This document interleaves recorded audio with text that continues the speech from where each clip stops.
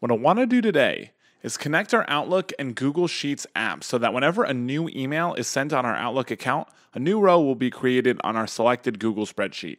Zapier is a no code tool that makes it easier for anyone to automate workflows across 5,000 plus apps. If you don't have an account, there's a link in the description for a free two week trial so you could try it risk free. Let's dive in. In order to get started with this workflow, I need to create a Zap by clicking the button on the left hand side of the screen.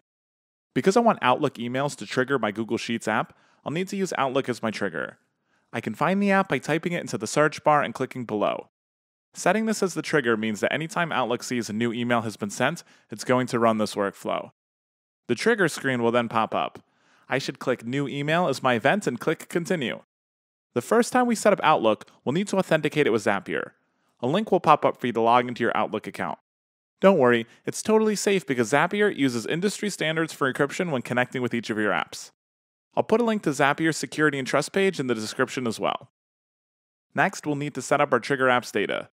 If you have a shared inbox you'd like to use, you can find it on the drop down menu and click Continue. If not, you could skip this step altogether by clicking Continue. In order to finish setting up the trigger, we'll need to pull in some example data. To do that, click Test Trigger. You're all set with the first step. Click Continue and we can start creating our first action.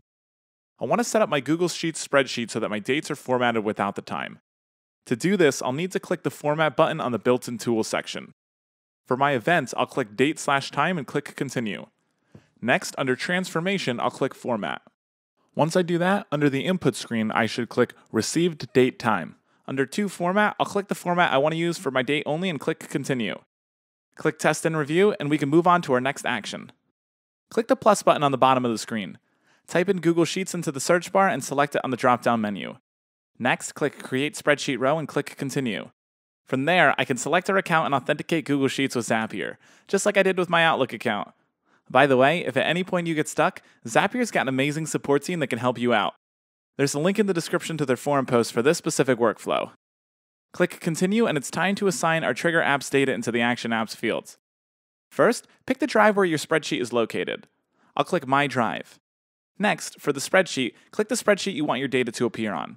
I'm going to click Zapier Emails.